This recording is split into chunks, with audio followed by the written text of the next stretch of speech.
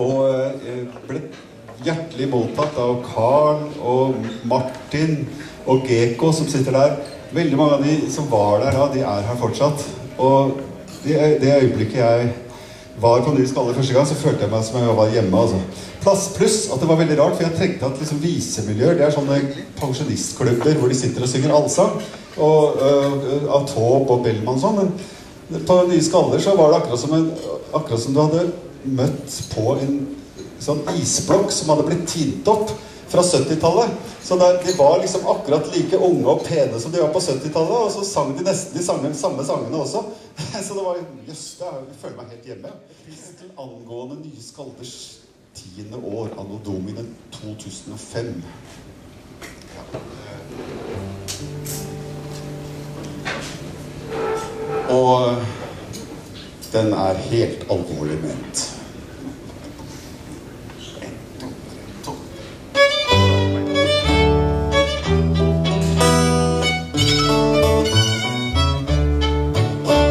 På Oslos ytterst østlige kant, der finnes en klubb for skalder.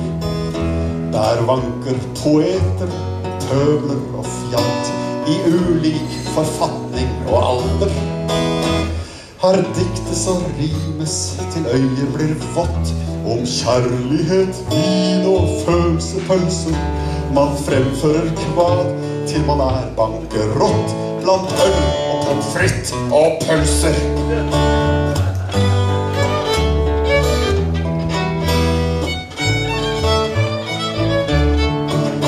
De nybakte skalde med skjelvende ben vår bramfrie scene bestiger. Med Bakki hjelp blir røsten ren. Skjønt tekster, det husker de ikke. Fru Inger til Hagerup skrev en gang om bageren på sin ø. Her bakes med selv samme raffinement. Men hvor blir kunden, mon dieu?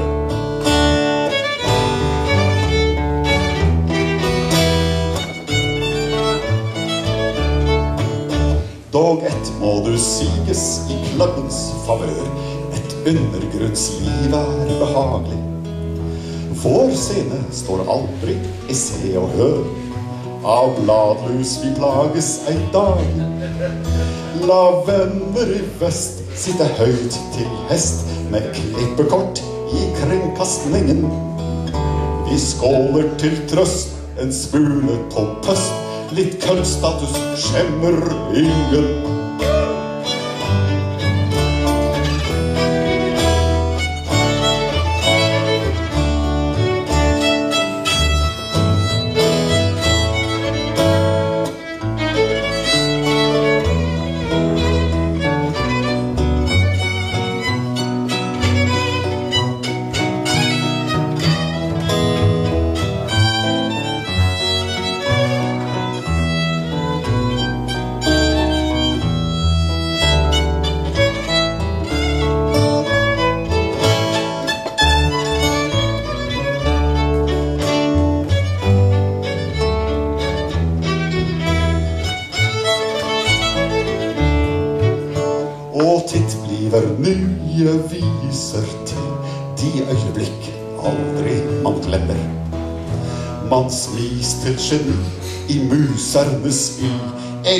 Elysiums i stemmer.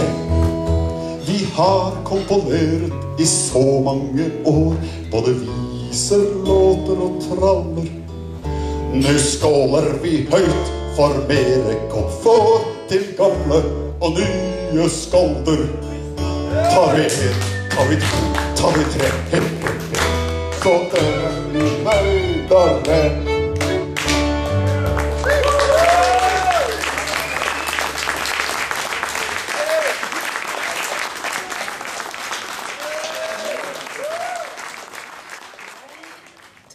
Deg, tror jeg, Øyvind, første gang i Helgesens gate en gang på 70-tallet. Eller kanskje det var blitt 1980, jeg er ikke sikker. og hos Helge. Ja.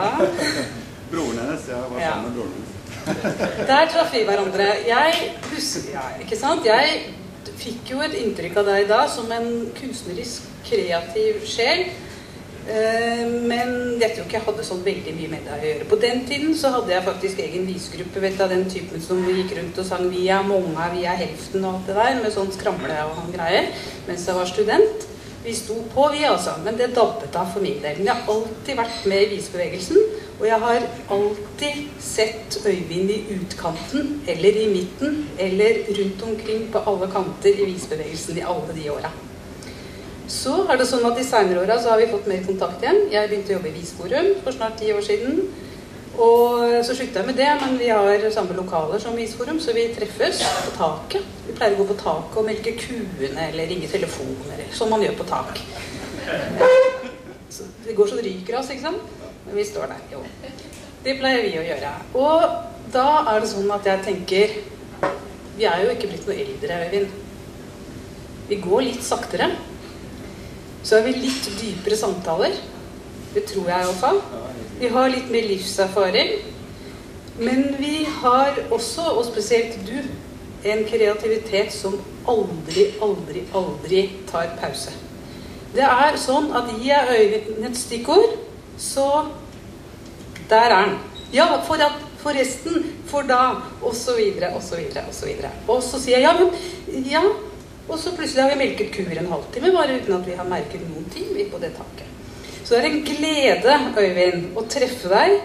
Både helt formelt, som vi gjør noen ganger, men også sånn på dette taket og i gangen og når vi går forbi. Så er det også sånn at på selve dagen til Øyvind, den tredje klokka kvart på tolv, så var vi tilfeldigvis i samme lokaler. Og da fant nemlig Hafslund, du vet de som serverer oss den dyre strømmen her i byen, de fant på å slå av alt lyset. Sånn at vi bare kunne bare møtes i mørket og si gratulerer. Og da tror jeg nesten ikke det ble en forsiktig klem engang, Øyvind. For vi var så forvirret, og vi merket at vi fikk ikke gjort noe annet enn å prate og gå rundt i skyggene. Eh, Men vi fikk vel sagt gratulerer til deg. Så tenkte jeg, men da får jeg iallfall ta det igjen i dag. Da får iallfall du få noe ordentlig i dag. Men så var det dette med denne komiteen, da. Og noe av det vi snakket om i komiteen der, det var allsang. Fram for den gode sangen i Norge. Et krafttak for sang. Allsang og allsangledelse, som er noe av det Øyvind jobber med nå, og som jeg er veldig spent på hvordan vi skal jobbe videre med. Det er så enkelt at alle tenker at piece of cake, allsang er vel ikke noe å jobbe med. Men samtidig så er det så vanskelig at vi trenger en Øyvind til å sette i gang og markere det. Jeg sa at jeg hadde tenkt jeg skulle gi deg noe, og da tenkte jeg selvsagt noe flytende. Men komiteer de bestemmer tiden selv, så det ble ikke tid til å gå på polet. Da ble det bare en sånn unyttig Du er Gratulerer med dagen. Og nå har Øyvind sittet stille så lenge uten å spille at du er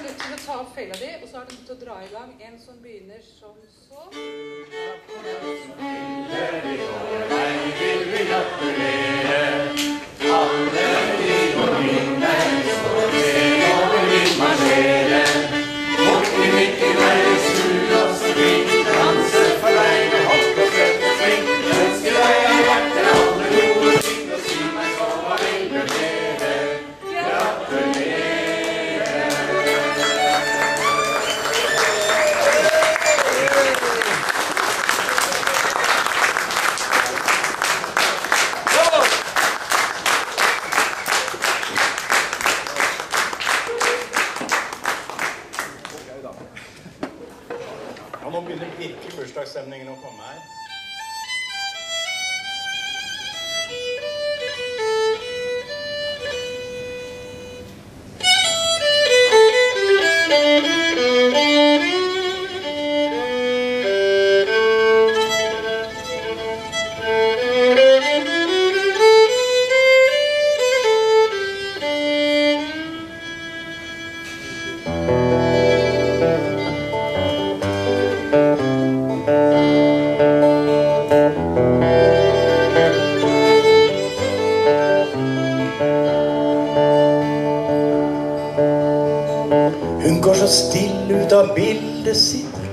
Jeg ser på. Hun er så tanner, hun er kledd i hvitt der hun står nå. Hun tar sitt glass av en drøm av virkelighet. Slik kan en tanke løpe langt av sted og la det aller underligste skje. Det er en lek så befriende, men hvis bildet bytter plass med meg,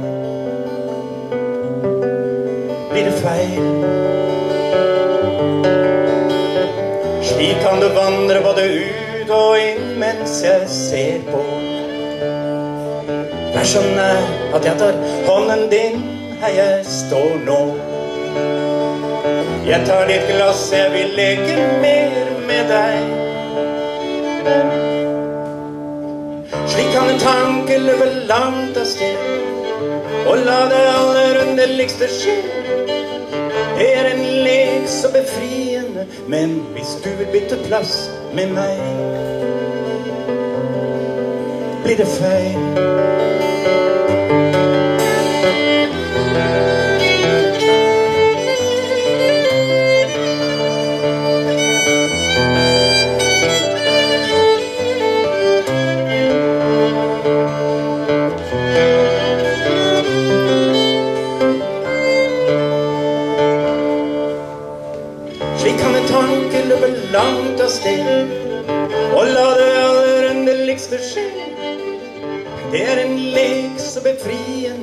Men hvis bildet bytter plass med meg, blir det feil. Tenk at bildet ble av blod og kjøtt der det er nå. Tenk at jeg kunne lage liv av dødt, hold min hånd nå. Så skåler vi for en røm av Slik kan en tanke løpe langt av sted og la det aller underligste skje. Det er en lek så befriende, tenk at bildet er så stort i seg. Og jeg i meg.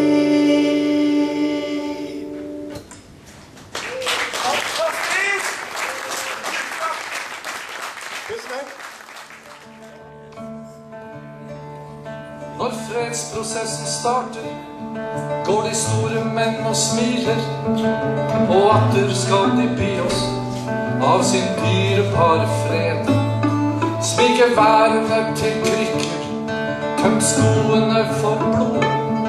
Fra klasebombene som regner ned. Dra en skrune, tenn et lys og be en bønn. Syng en vakker vise, ballade. Ta en sang for hver fortapte sønn. Ta en sang og skjenk en skål og be en bønn.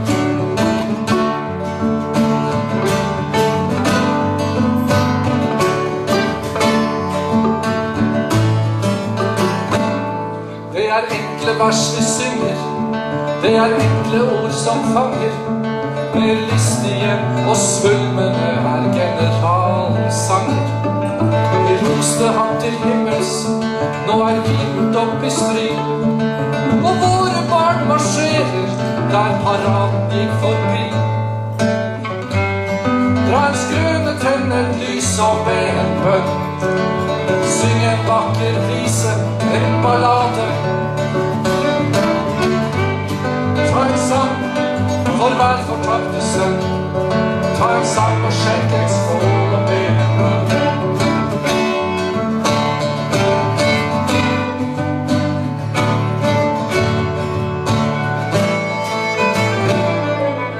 Eventyret lokker på nok en generasjon. Og fryktløst skal de reise ut og slåss for sin nasjon. Og når du hører blodet i patrioters vers og dikt som ble for de fordømte, selv om du ikke tror på slikt.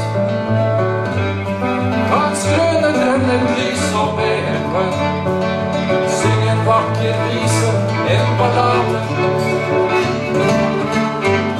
Ta en sang for hver fortapte sønn. Ta en sang og sjekk en skål og be en bønn.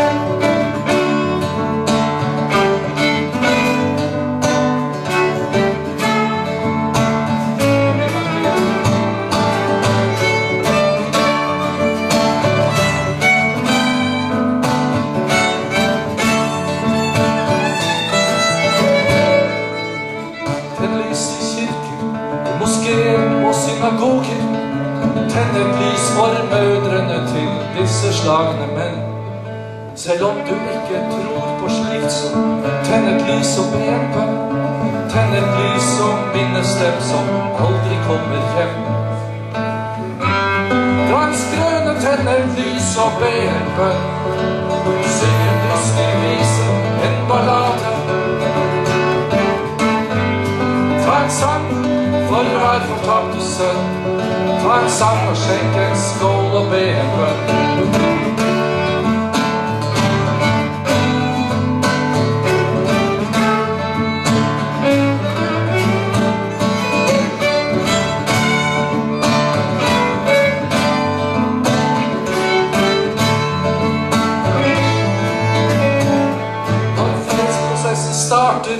Går de store menn og smiler. Og atter skal de by oss av sin dyrebare fred. Smyk krykker av geværene, tøm skoene for blodet. Fra kasebombene som regner ned.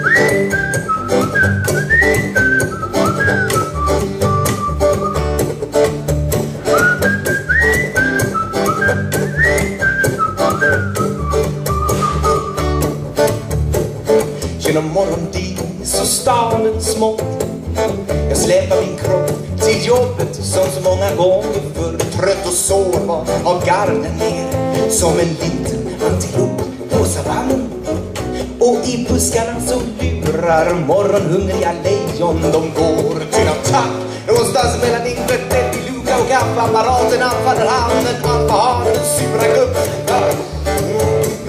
att surfa fram på en svart våg av negativitet och drar med alla ner i dragsuget. Men jag vägrar, jag vill inte bli som han. Så jag står rak i ryggen som en riktig gentleman. Jag ler och nynnar på min sång. Det är nu ni ska med alltså.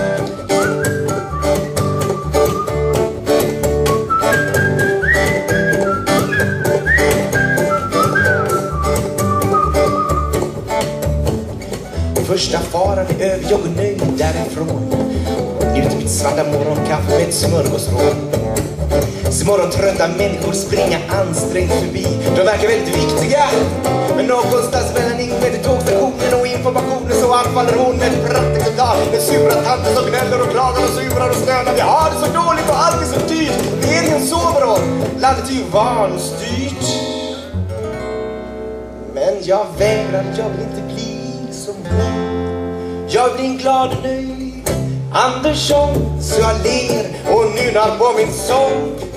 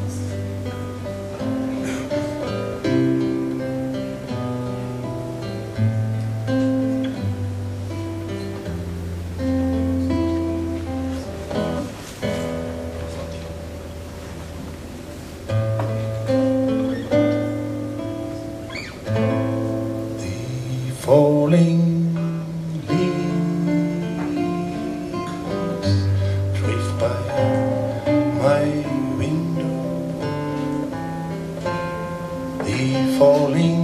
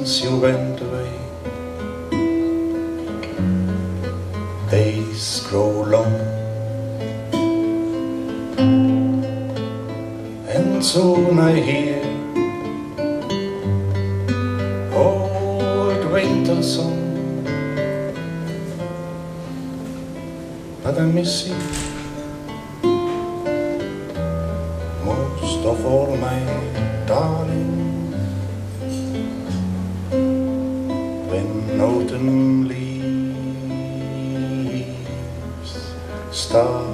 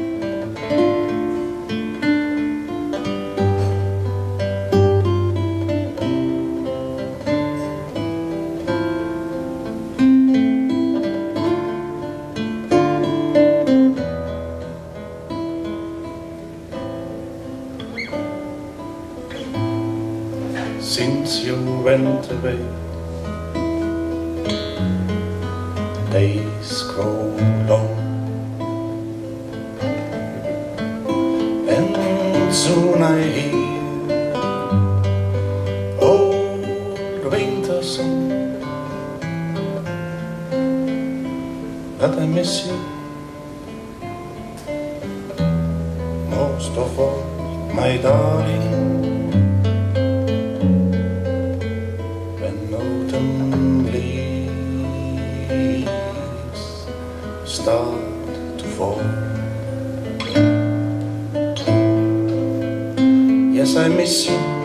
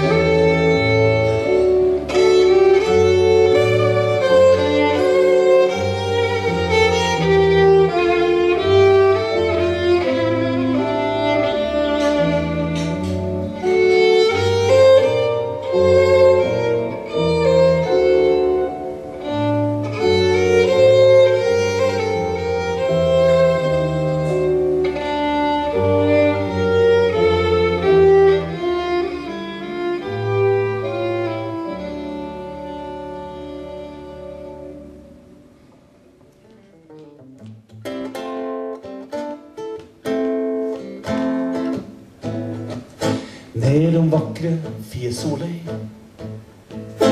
I Firenze et sted Spill fiolinen. Der ligger en liten bar der jeg har lyst til å ta deg med. Jeg reiser dit når livet blir grått. Fint og blått der, skal du tru. Du må gjerne bli med inn en tur i en blues før Café Bella Blue.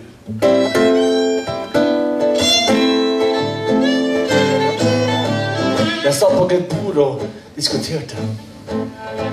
Hun gestikulerte mot sin mann. Forstår ikke hva de baler med, men vi har havna i et helt annet land.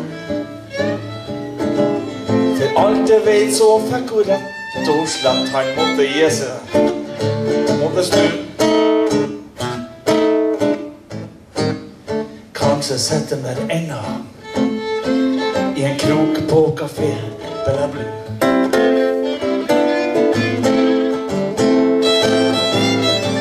Så møtes gamle og unge. Ja, alt du ønsker, det skal du få. Da er det deilig bare å være og kjenne at tida får rusle og gå.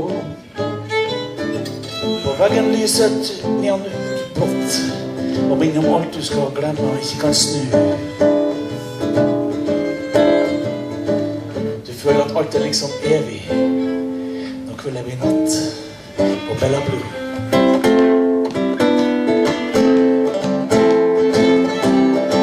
Her møtes gamle som unge, og jobben går i år som i fjor. Folk tør her hele livet, men tru meg, jeg forstår, jeg forstår.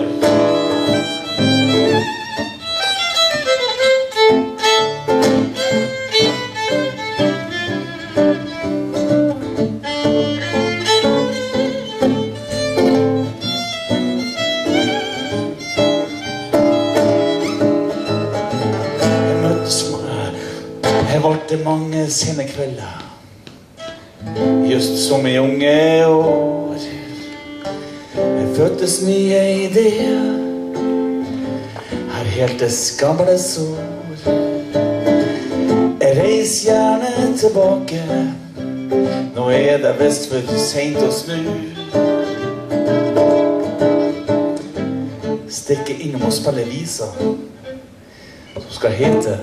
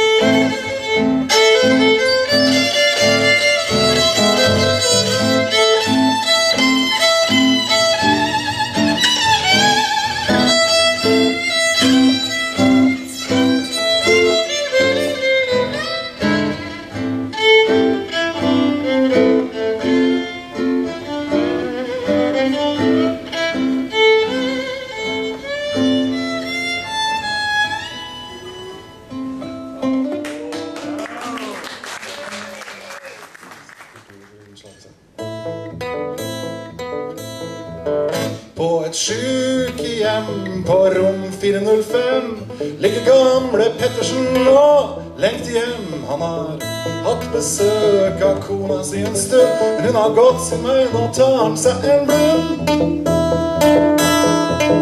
Våkne opp, gamle mann, du må ikke være lat, sier sjukesøstera som kommer inn med mat. Vi vil ha deg frisk og i form, det må du tro, men først så skal vi ta en tur på do.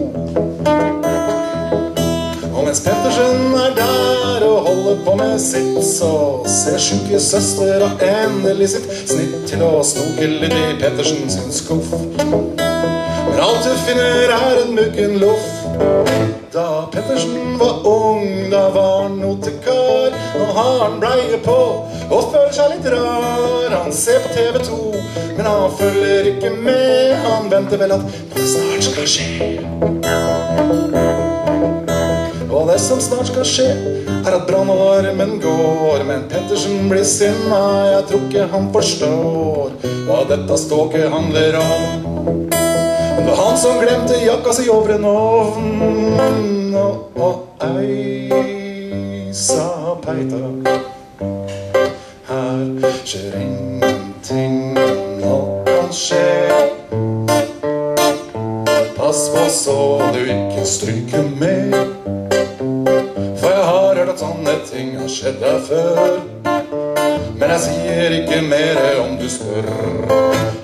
sangen handla om en sliten, gammel mann som for så vidt helt har mista sin forstand. Han veit ikke hvem han er, og enda mindre hvor der han går naken nedover en korridor.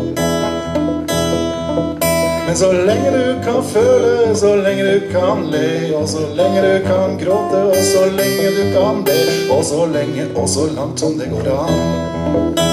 Så lenge starter brann, oi, sa Peita. Her skjer det ingenting, men alt kan skje.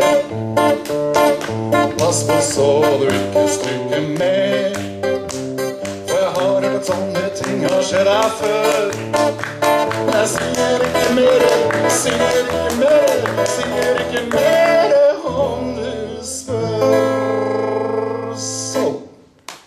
Gratulerer med dagen.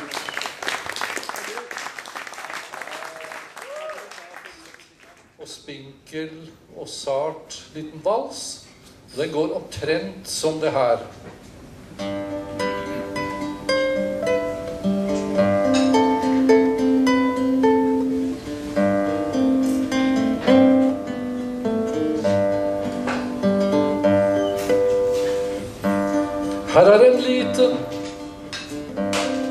melodi med toner som streifet meg nær.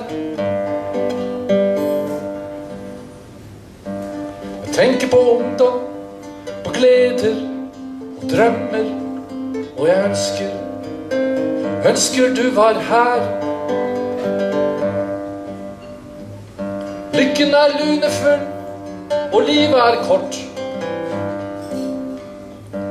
Alle fortjener en sjans. Noen står alltid med ryggen mot veggen. Mens livet byr opp til dans.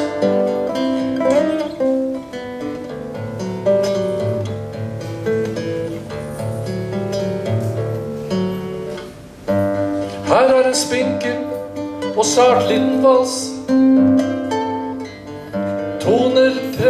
Seg frem.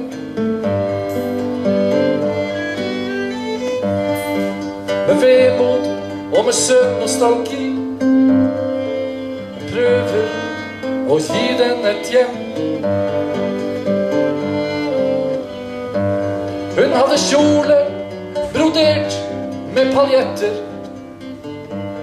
Nylånte høyhæla sko. Hvit dress og bilen til pappa. Det vinket så lett da de dro.